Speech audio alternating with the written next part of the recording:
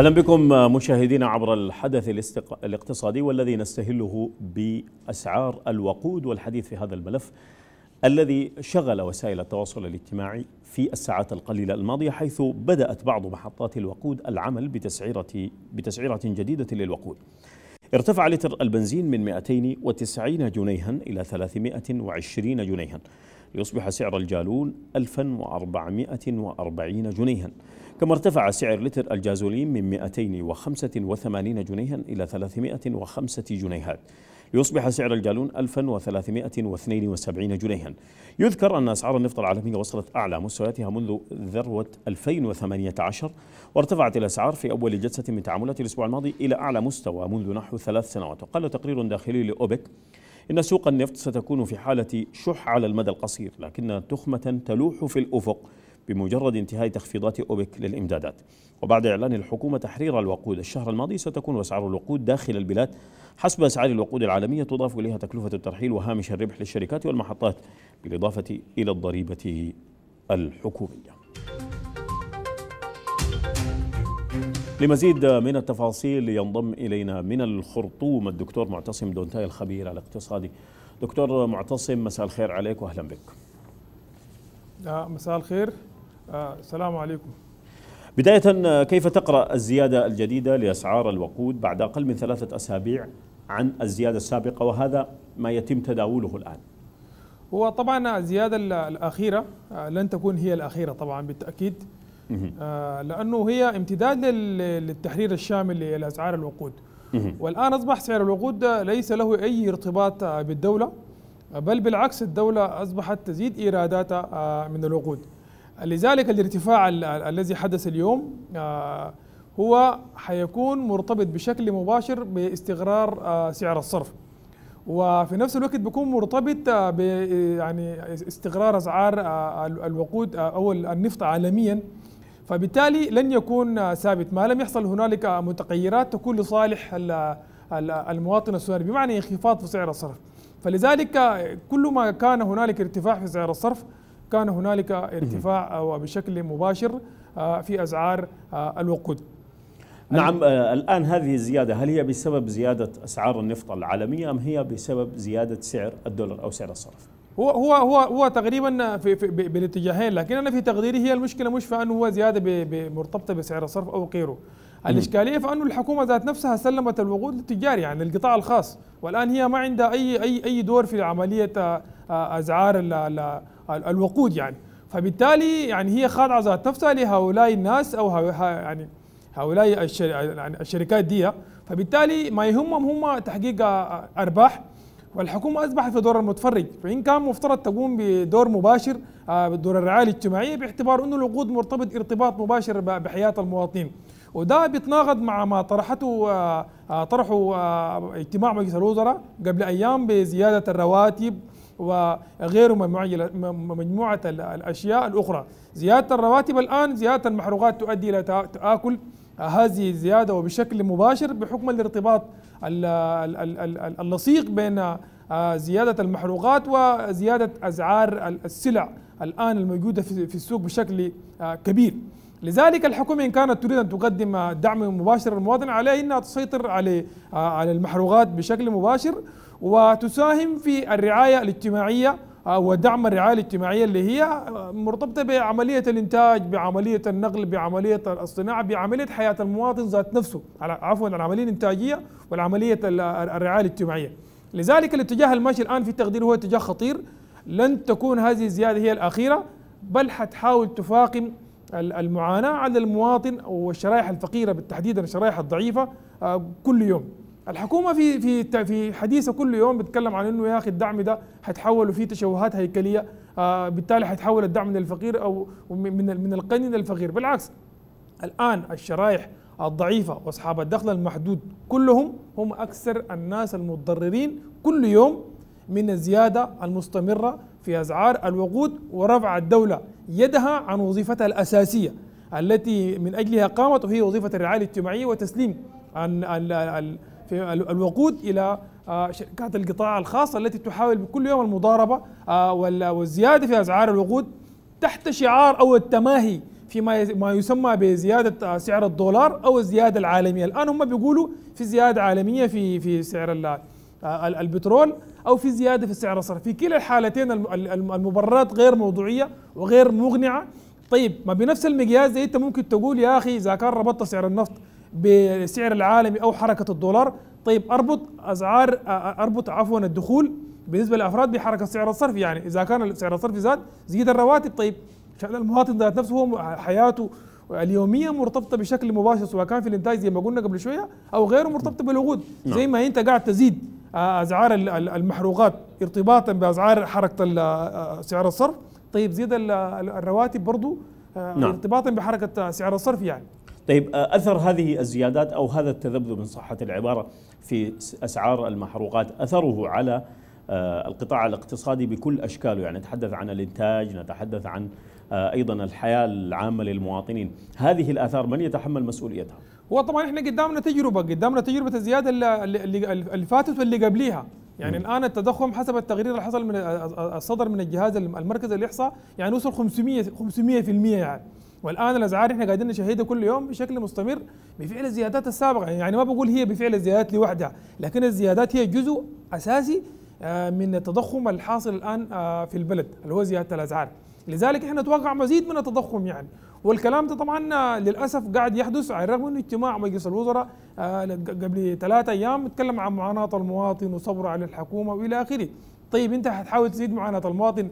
يعني زيادة أخرى الآن الزراعة مرتبطة بالوقود الصناعة مرتبطة بالوقود. طيب في إذا كان في إشكالية في في الجانب ده يعني طيب أنت في شرائح ثانية ممكن في في في اتجاهات ثانية ممكن تزيد بها الإيرادات. على الرغم إنه إحنا قرينا في موازنة 2021 واضح إنه الحكومة حققت إيرادات تقدر بأكثر من 300 مليار جنيه سوداني والكلام ده موجود في الموازنة ممكن أي زول يطلع عليه من إيرادات الوقود. ده في الموازنة موجود. ده قبل الزيادة الأخيرة بتاعت ال 290 لتر. حصلت زيادة جديدة. هل في التقارير حتى الآن ما طلعت؟ إن كان طلعت جزء من التقارير ما ما, ما أكدنا مدى مصداقيتها هي الآن موجودة. طيب الزيادة الأخيرة دي معناتها أنت الحكومة قاعد تزيد إيراداتك على صالح المواطن الفقير اللي أنت بالضرورة المفترض تقدم له خدمات.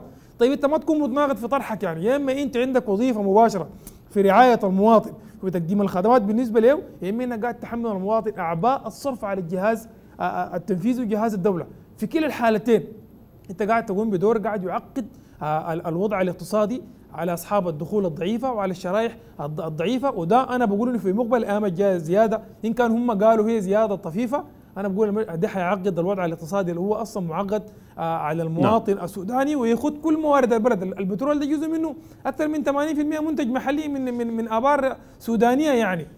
نعم. وطيب الكلام ده علاقته شو بالأسعار العالمية يعني؟ هو منتج محلي وكنا قاعدين نشاهده البنزين أو أو غيره. النفط عموما منتج محلي. نعم. لماذا يتم الإعلان عن الزيادة ويتفاجأ بها المواطن فقط في محطات الوقود؟ لماذا لم تقوم الدولة بإعلان هذه الزيادة؟ هو هو هو طبعا الدولة الآن رفعت يدها بشكل مباشر ما إلا إذا كان في الجانب التنسيقي بيننا وبين شركات القطاع الخاص اللي هي وكيلة أساسا عملية المحروقات عموما. فهي الدولة الآن بقت أصبحت في دور المتفرج يعني. هي بس بتجني أرباح لوحدها بالعكس هي هي هي خاطة فوق السعر ال 75% خاطة عليه يعني إضافات جديدة رسوم وغيره وغيره.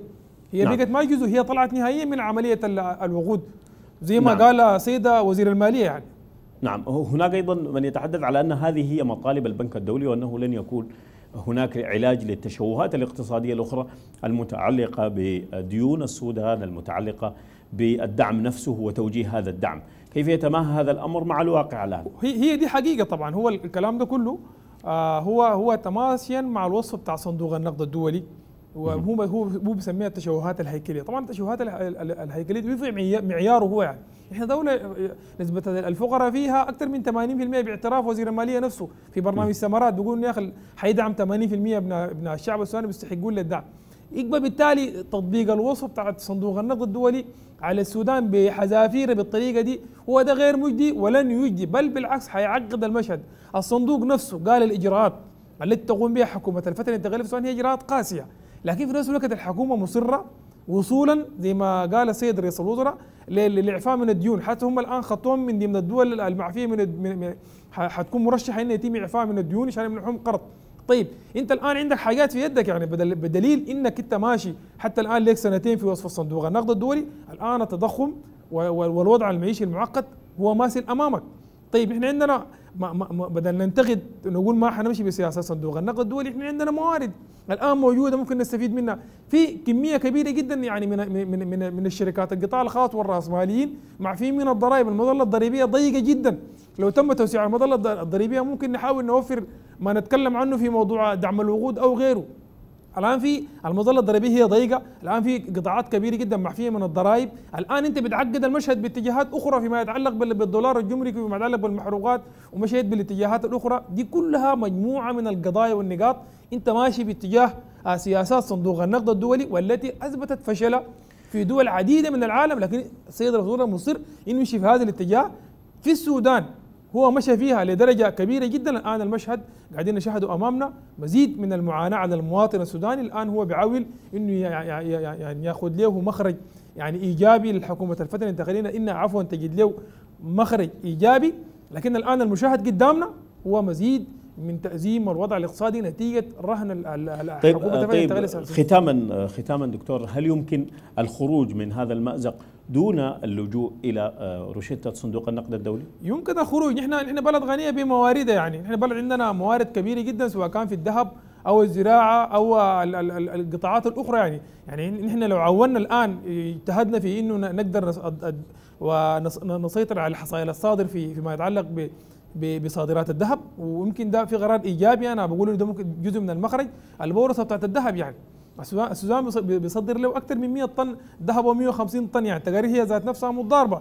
ده جانب سيطرة الدولة على على حصائل الصادر، الآن أنت عندك حصائل الصادر أكثر من مليار جنيه و800 مليون حسب كلام السيد وزير الثروة الحيوانية ما قاعد تجي، فبالتالي إحنا السيطرة على حصائل الصادر والسيطرة على صادرات الذهب والجانب الزراعي كله سواء كان قطن أو سمسم أو أو غيره ده بيوفر لنا يعني مبلغ كبير جدا من من من من, من من عادات النقد الأجنبي اللي هو بيتكلم عنها سيد رئيس الوزراء هو قال 7 مليار محتاج بها يدعم بها العملية الإنتاجية في قطاع الطاقة في قطاع الزراعه هاي بنقول نعم محتاجين.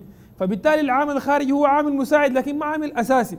نعم. هو هو هو هو بيرهن كل معالجته للعامل الخارجي. العامل الخارجي بنقول مساعد وما بننكر دوره لكن نحن الآن عندنا موارد إذا عملنا عليها بشكل كبير جدا تستطيع أن تخرج بنا إلى بر الأمان وبكل ارتياح وفي فترة زمنية قصيرة. نعم. أشكرك جزيل الشكر الدكتور معتصم دونتاي الخبير الاقتصادي كنت معي من الخرطوم. شكرا جزيلا لك. شكرا جزيلا. أكد وزير الطاقة والنفط جادين علي عبيد أهمية تطوير آفاق التعاون النفطي بين السودان ودولة جنوب السودان وذلك لما يربط بينهما من مصير مشترك في الصناعة النفطية. يتمثل في المعلومات النفطية والحقول والمنشآت النفطية القائمة والخدمات النفطية. جاء ذلك لدى مخاطبة فعاليات المؤتمر الرابع للنفط والطاقة بدولة جنوب السودان. ركز المؤتمر في نسخته الرابعة على فرص الاستثمار المتاحة ومشاريع الطاقة وتسريع عمليات الإنتاج والاستكشاف في المناطق الجديدة في جنوب السودان والتحديات التي تواجه الصناعة النفطية في دولة جنوب السودان. قال الوزير جادين أن الصناعة النفطية واحدة من الآليات القوية والمهمة التي تربط بين البلدين. وبان جادين أن السودان لديه طموح وسعي حثيث. لزيادة الإنتاج النفطي والغاز والكهرباء من خلال المشاريع التي طرحت في مؤتمر باريس. قال وزير الري والموارد المائية ياسر عباس قال إن السودان منفتح للتعاون والتنسيق مع الدول الأعضاء في حوض النيل للاستفادة من الموارد المائية في الحوض على أسس عادلة ووفقا لمبادئ القانون الدولي للمياه حتى لا يحدث ضرر لأي من دول الحوض. مؤكدا وجود فرص في عديد من فرص عديدة بدول حوض النيل في مجال المشروعات المائية المشتركة يمكن أن تسهم في زيادة معدلات التنمية الاقتصادية والاجتماعية للشعوب. وقعت وزير العمل والإصلاح الإداري تيسير النوراني والمدير العام للجهاز المركزي للإحصاء علي محمد عباس مع منتدى البحوث الاقتصادية في القاهرة الذي مثله مديره التنفيذي إبراهيم البدوي. وقع عقد اتفاق المراجعة الأولى لإجراء المسح التتابعي لسوق العمل لعام 2021 بميزانية كلية تبلغ 341 ألف دولار. يهدف المسح إلى توفير الإحصاءات والمؤشرات الاقتصادية والاجتماعية التي تستخدم في صياغة السياسات الاستراتيجية والتخطيط للسوق في السودان. بدأت التحضيرات الفنية للمسح بمراجعة استمارة ومرشد العمل الميداني واختيار العينة إضافة إلى تدريب المدربين الأساسيين وفريق العمل وفريق المتابعة والجودة. وسيتواصل التدريب للباحثين من الولايات في الأيام المقبلة. أكد وكيل وزارة الزراعة والغابات الاتحادية عبد الرحمن عبد الرحيم أكد أهمية مشروع تطوير سلسلة القيمة الزراعية في تطوير وتأهيل البنى التحتية ودعم صغار المنتجين. وقال خلال تراسي بمدينة الأبيض اجتماعات, اجتماعات لجنة تسهيل المشروع والإدارة التنفيذية أكد أن المشروع يمكن صغار المنتجين من الوصول إلى الأسواق وتسهيل التجارة بولايتي شمال وغرب كردفان مستهدفا محاصيل السمسم والفول السوداني وإنتاج تقاوى البطاطس في ولاية الخرطوم. وأشار الوكيل إلى أن المشروع يعمل في تطوير سلاسل القيمة من خلال تحقيق أهداف الخطة الوطنية في تحقيق التنمية الاجتماعية والاقتصادية التي يقودها القطاع الزراعي. وأضاف أن وزارة الزراعة والغابات تعمل جاهدة في تحقيق الأمن الغذائي والاهتمام بمحاصيل الصادر. أعلن وزير آه، التجارة والتموين علي جد آدم أعلن أن وزارته قد صدقت باستيراد مليون وأربعمائة وسبعة آلاف طن من السكر خلال الفترة من الثالث وحتى من الثالث من يناير إلى الحادي والثلاثين من مارس من هذا العام. وقال الوزير لوكالة السودان للأنباء أن هنالك كميات وفيرة من السكر ولا توجد فجوة حسب التقارير. وبان أن الكمية المصدقة بجانب الإنتاج المحلي تغطي استهلاك البلاد خلال العام الحالي الذي يبلغ مليوني طن. وأضاف أن خمس شركات قد منحت تصاديق لاستيراد السكر بواسطة لجنة خاصة لتنظيم استيراد سلعة السكر وأشار إلى متابعة وتنفيذ مسألة التصاديق بواسطة, بواسطة مباحث التمويل لتفادي السمسرة والتلاعب في تلك السلعة الاستراتيجية. وأكد أن الوزارة لن تسمح بالتلاعب بالتصاديق الخاصة باستيراد سلعة السكر. بدأ برنامج منظمة الأغذية والزراعية العالمية فاو بمحلية السوق في ولاية سنار. توزيع التقاوى لصغار المزارعين ل 110 مزارعين من جملة 2200 مزارع في المحلية. قال منسق منظمة فاو بسنار مكة عبد الله قال إن توزيع التقاوى لصغار المزارعين يهدف إلى تحقيق الأمن الغذائي للشرائح الضعيفة وصغار المنتجين. كما دعا إلى استخدام التقنيات الزراعية ومواصلة الدورات الإرشادية لتوجيه وتعليم المزارعين الطرق العلمية للزراعة منذ التحضيرات الأولية للعمليات الزراعية والفلاحية. وأكد مواصلة برنامج توزيع التقاوى وبذور الخضروات لتشمل ستة من محليات الولاية التي أجري لها المسح سابقاً. إلى ولاية غرب كردفان حيث أكد مدير جهاز الإحصاء في ولاية غرب كردفان الطيب جمعة محمد أكد انطلاقة برنامج مسح الشمول المالي الذي يهدف إلى إتاحة استخدام الخدمات المالية كافة لمختلف فئات المجتمع من خلال القنوات الرسمية بما في ذلك الحسابات المصرفية والتوفير والدفع والتمويل بالإضافة إلى خدمة التأمين والتمويل والائتمان بجودة وكلفة قليلة.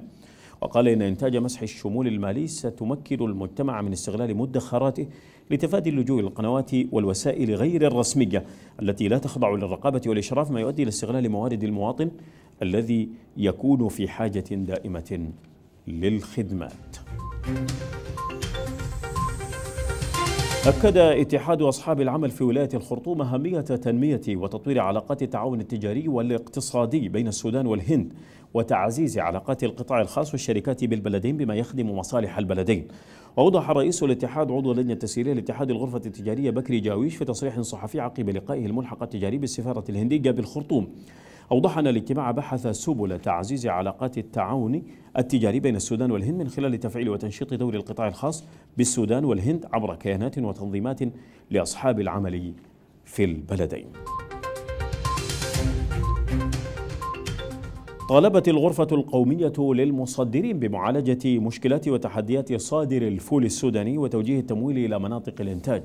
وقال الأمين المالي للغرفة القومية للمصدرين باتحاد الغرفة التجارية محمد حامد أبو بكر إن القطاع الزراعي يظل هو المخرج لنهضة الاقتصاد القومي إنتاجا وتصنيعا تحقيقا للقيمة المضافة إلى جانب مساهمته في تنمية المجتمعات كما دعا إلى تركيز جهود الاهتمام بالقطاع الزراعي والحيواني من أجل زيادة الإنتاج للصادر لتحقيق الاستقرار الاقتصادي كما لفت إلى أن السودان يتمتع بمزايا وبيئة مهيئة لإنتاج الفول السوداني.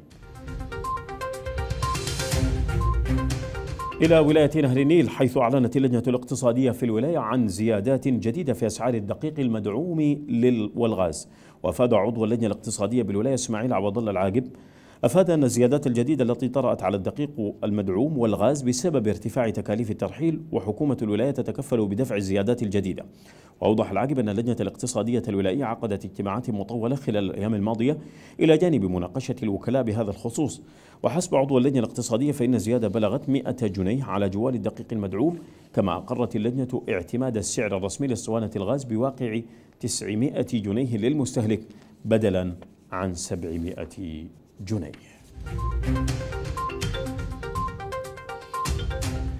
بهذا نكون قد وصلنا وإياكم مشاهدينا الكرام إلى ختام جولتنا في الأخبار الاقتصادية وبها نختتم جولتنا في أحداث السودان. ختاما تقبلوا تحيات فريق العمل. السلام عليكم.